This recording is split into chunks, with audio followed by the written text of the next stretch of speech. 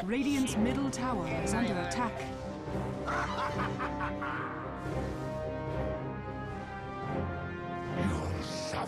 Hello everybody, my name is Goodboy and welcome to the Dota 2 Counter Picking Guides. This is where we look at a specific hero and see who they counter, but also who counters them.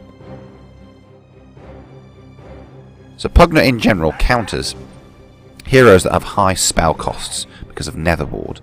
He also is an extremely good nuker, so if you have low HP he'll cut straight through you. Equally on the other hand, he's also very vulnerable to nukers and gankers himself because he has low HP. So in many ways he counters himself.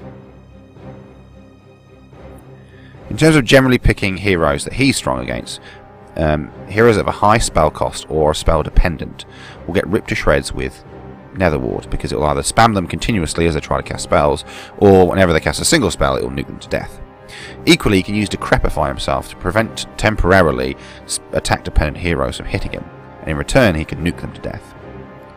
So here's Bristleback being spammed to death here by uh, the Netherward. Every time he casts a spell, he suffers. And here's OD, again with the Nether Ward in action, and look, every time he casts, he takes massive damage. And then when, of course, Pugna comes out, he'll just drain him to death. Great stuff. In terms of heroes he's weak against, well, there you go. Gankers, pretty obvious. He's low HP, he's quite squishy, any of those heroes that rock up with a nuke or a good gank will kill him.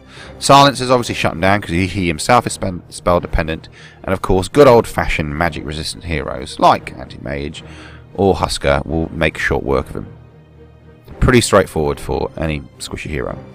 So here's Anti-Mage, his mana burn is particularly frustrating as well, and he chops through him straight away. And then of course Bloodseeker rocks up, and then that silence is going to rip you to shreds.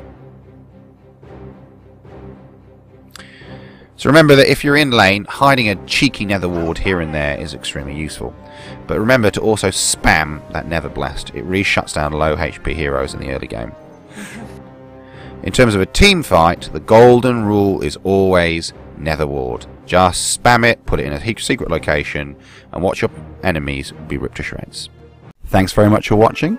If you like the video, please like, subscribe and share it. If you'd like more videos of the same content or maybe something a bit different, please follow the video links below.